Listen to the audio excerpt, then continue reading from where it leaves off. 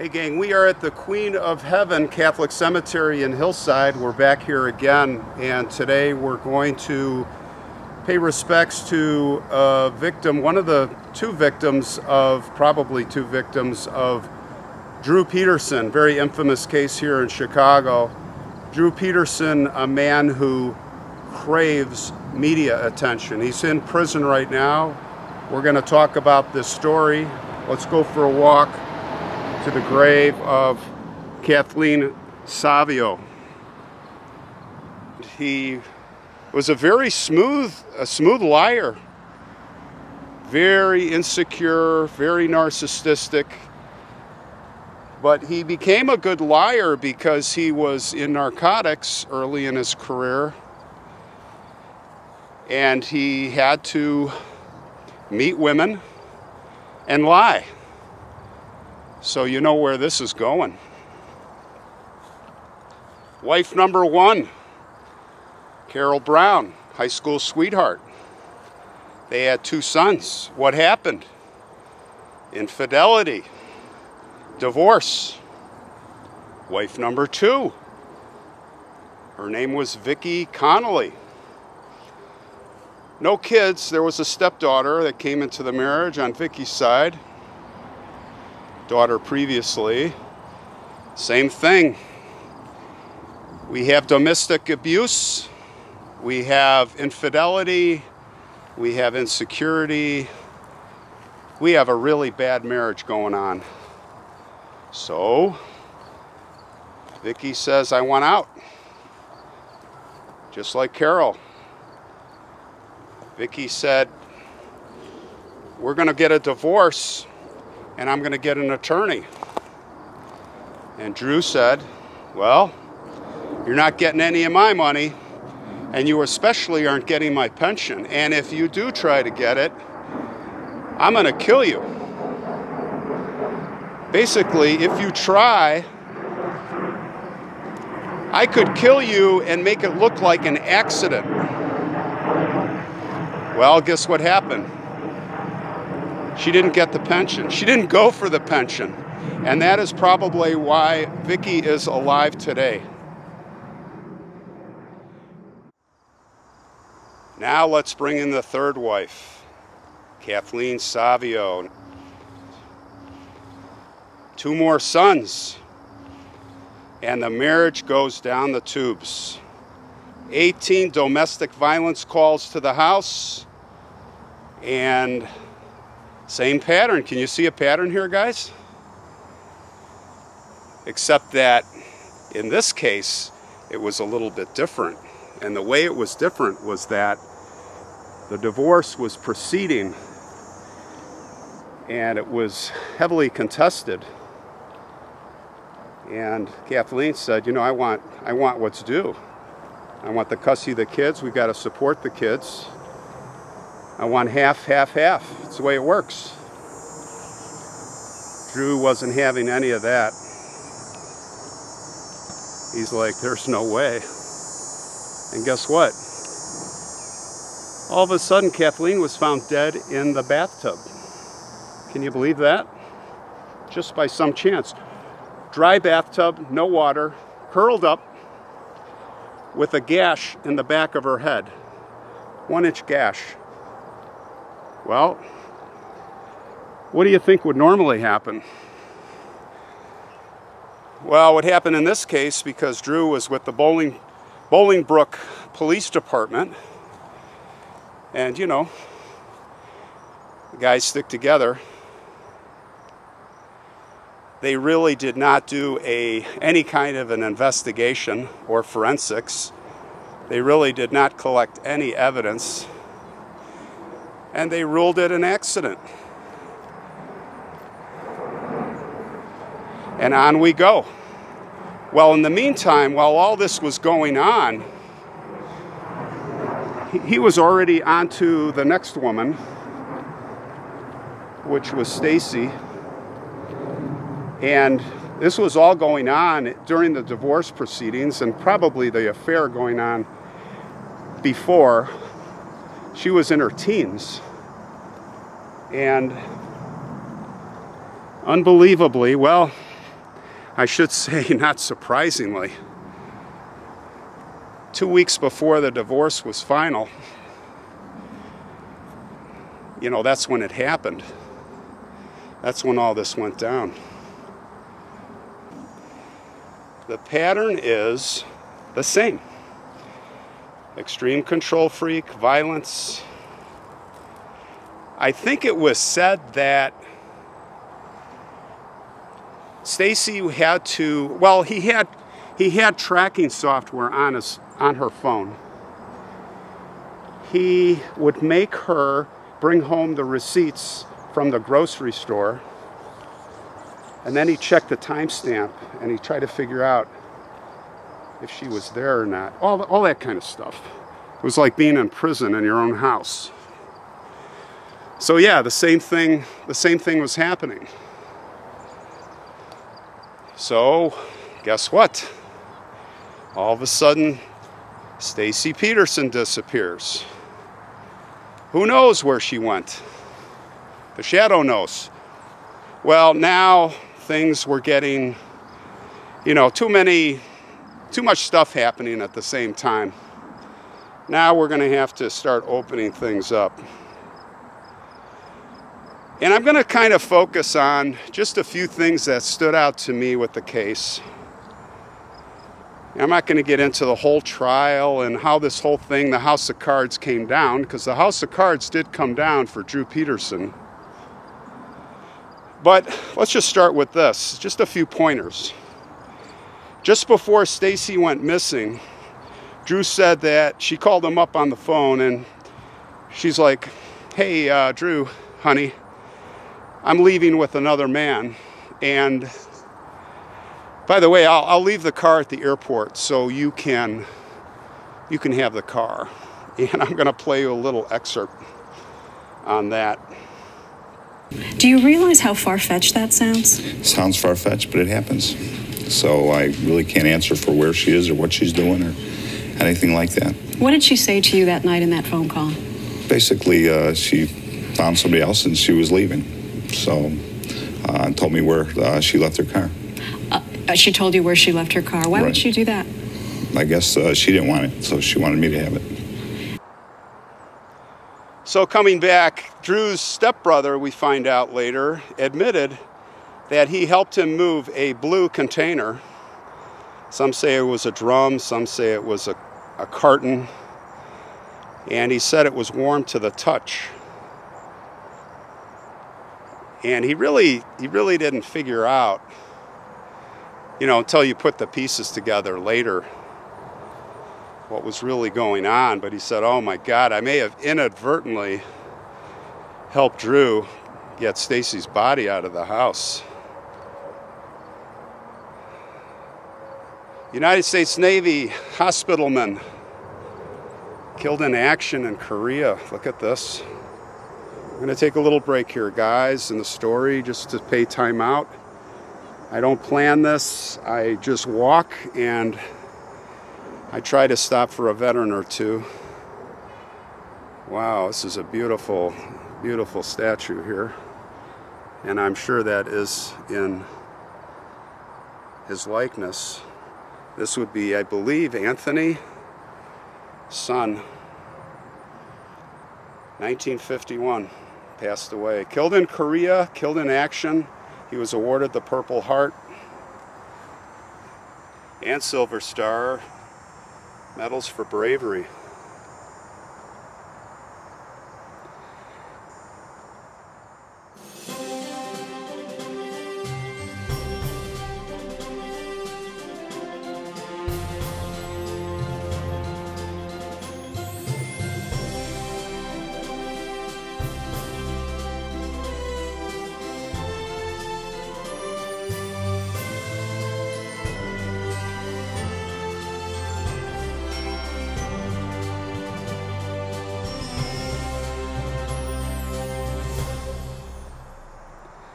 Thank you for your service, Anthony. So sad. Well, see if we can fix this up just a little bit.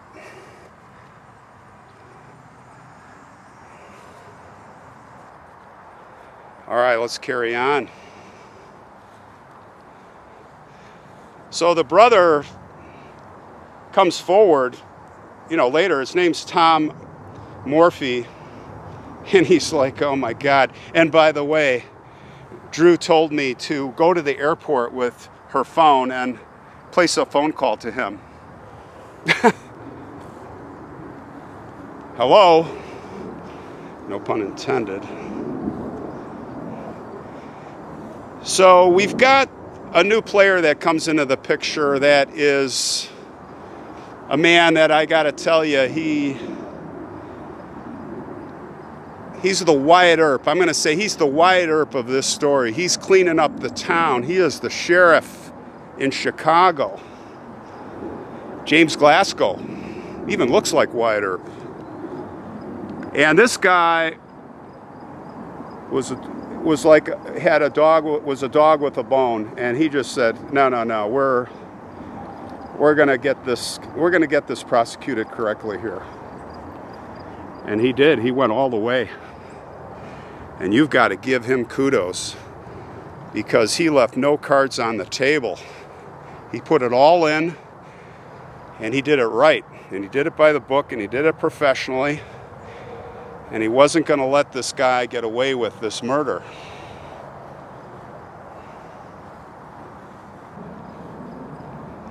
So, what does James Glasgow do, the prosecutor? Well, he gets that permission, the court order to come here to Queen of Heaven Catholic Cemetery to get Kathleen Savio exhumed. And they take a close look and it's homicide. A lot of sloppy work before, but not this time. And shortly thereafter, Drew Peterson is arrested.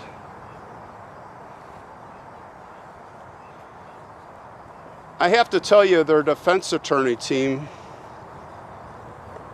are,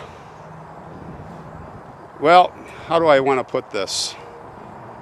clowns, stage actors. Uh, there's really some really bad form shown by these guys. This team, I think they had six of them. And they thought, you know, they loved, it seemed like they loved the media attention also, and they would get up in front of the microphones and just do some horrendous things, unprofessional to say the least. And I will play you a little clip right now What do you make of the Stacy factor in this trial? Who? The Stacy factor. Who? Stacy who? Stacy who? She's on your witness list. Oh, that's Oh, Stacy. We're hoping she shows up. She shows up. Yeah. Yeah, maybe she'll show if up. she shows up, If she got the gonna call subpoena, her. if she got the subpoena, Does anybody think she's really alive? I do. Absolutely, absolutely, she's alive. Well, there's no sign of life. I mean, she hasn't communicated with anybody. Nobody's heard from her. Nobody's No seen sign her. Of life. I haven't Right? talked to my wife in weeks. so what? years, for years now. actually, I haven't talked to I my first wife started. in 15 years. So the trial is going, and another thing that pops up is Drew's best friend comes forward to tell everybody how he was told months before that Drew's an expert at disposing of body and how bodies, how he would do it using scuba weights because the gases and you know the container, whatever it is, would come up. It wouldn't stay down whether underwater or underground. And he goes into all this detail about scuba weights. And when all this stuff was hitting the fan, Drew calls him up and says, Hey, get over here. And he comes over to help with the kids and stuff and says, He trips over this big bag, and what's in there? Scuba weights. So, just crazy stuff. So, another gaffe that they made, which was probably the biggest gaffe of the trial, the defense team, these experts and movie stars, they call on the stand Stacy Peterson's divorce attorney, and he gets on the stand. I don't know what they were after with that, but he gets on the stand. He goes, "Oh yeah, she told me like the week before that Drew told she knew she was covering for Drew that Drew had killed Kathleen Savio, and that you know, the alibi is no good because, you know, I was the alibi and I lied. So that just blew the whole case open. Well, blew it up for the defense. And from there, it was a guilty verdict. A quick, a quick guilty verdict. And thank God for 12 intelligent jury people. So Drew Peterson has a tissy fit in his sentencing hearing. He got to have to speak his mind, and he's glaring at the the jury, giving them dirty looks, all this drama. Again, playing up for the media. And fast forward a little longer, and he tries to hire a, a, a hitman from prison to kill Glasgow, the prosecutor. And the inmate was, hi- was wired, everything was recorded. Another 40 years for Drew.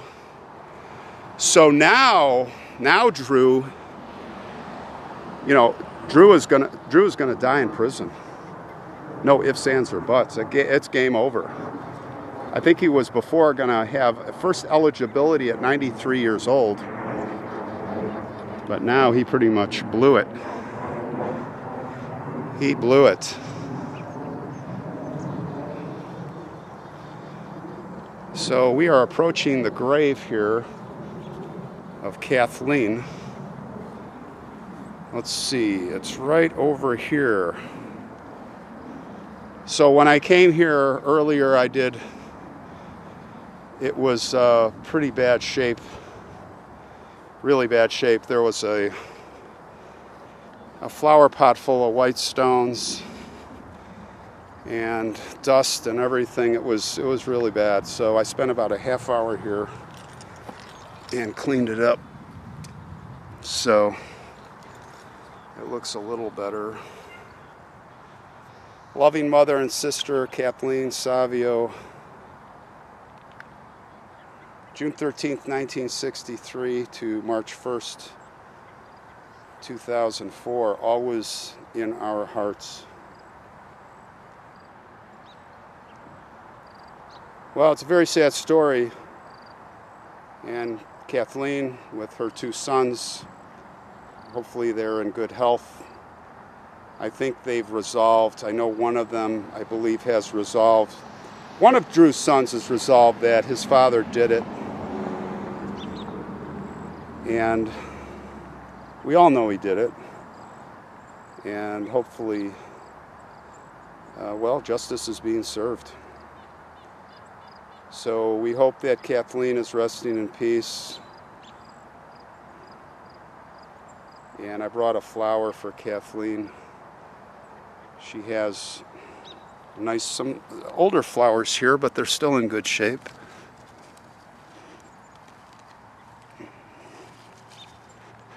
So.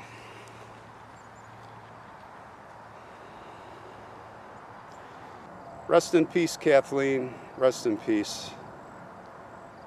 And I have a few a few more thoughts as we walk away here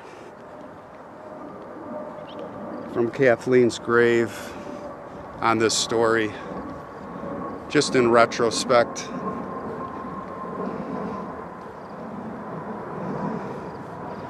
It is said, it was said by Drew's attorney, who by the way quit at the end of at the just before the sentencing hearing, that he believes when Drew dies that she will be found, and he's quoted as saying that several times. If you if you watch the show, Grayson Abrams, Abrams makes a really good point. He kind of corners him and says, "Hey, you know what? You've you've said that kind of like you know your attorney privilege. You can't say, but you know, you know where she is, and when Drew dies, then." she's going to be found, I think. And he said, you know what, that really rules out that she ran away with a boyfriend. Why? Because you, you, you would have used it as a defense. So we know that you're saying she's dead, so tell us. And he won't tell. He's just going to go with his attorney privilege to the bitter end. And you know what? I'm going to say if he's watching, if you're watching, you're going to go to your grave someday. And your grave marker will be your grave marker will be that you you were a professional, you kept your attorney privilege. And not be that you were a man and stepped up and told us for her kids where she is. And that's the kind of person he is. And that's the kind of people we have out there. Well, Drew Peterson will die someday, and he'll probably take the secret to his grave. However, he may not because he craves media attention. It may just turn out next year he comes out of the woodwork and goes on that little tour in the orange suit and handcuffs in the van to multiple locations to try to remember where he buried her. Watch for that, gang. But if not, then we're going to have to wait for the day that Drew Peterson dies. And I do believe that when that happens, we will we will get news of where she is. Rest in peace.